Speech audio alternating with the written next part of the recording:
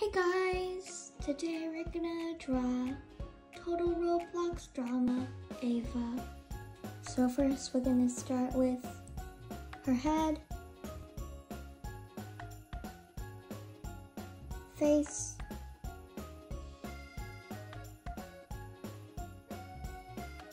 then her hair, her iPods, her body,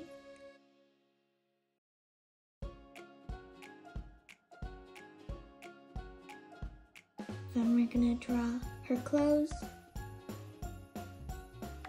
legs,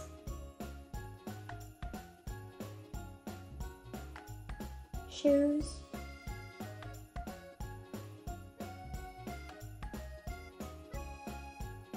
pants, and there. total Roblox drama, Ava.